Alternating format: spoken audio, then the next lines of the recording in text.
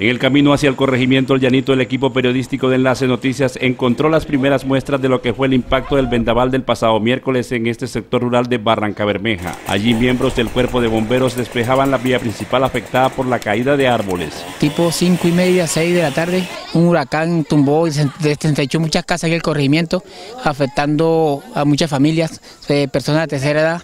Eh, le pedimos a la alcaldía encarecidamente a los, a los institutos de, riesgo, de riesgos y desastres que nos colaboren en ese sentido, ya que son personas eh, pobres que no tienen cómo suplir esta necesidad. Ya en el corregimiento del Llanito, las huellas de este vendaval se encuentran en barrios como el Plano, donde los techos de las humildes viviendas de esta población de pescadores volaron impulsadas por ese viento sorpresivo. No, fue algo inesperable porque nosotros estábamos, nos cogió así de golpe ese huracán que de una vez empezó a, a mover y a levantar techos, eso fue algo imponente, algo que, no lo esperábamos y ¿Nunca lo, habíamos visto y eso fue techo levantado y eso eso palos caídos y la comunidad está un poco afectada bastante, por eso necesitamos el apoyo. Hubo por ahí un vendaval, me tumbó mi casita, yo quiero que me ayuden porque no hay platica para parar lo que me dañó el huracán. En este otro sector del corregimiento también la brisa arrasó con lo que halló a su paso. Allí encontramos el testimonio de esta mujer que asegura cómo la naturaleza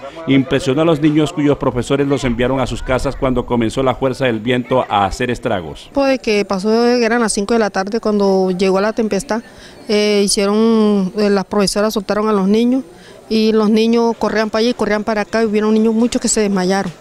Y la niña mía, la nietecita entró y de una vez cayó encima de la silla y yo le di primero auxilio y otra volvió.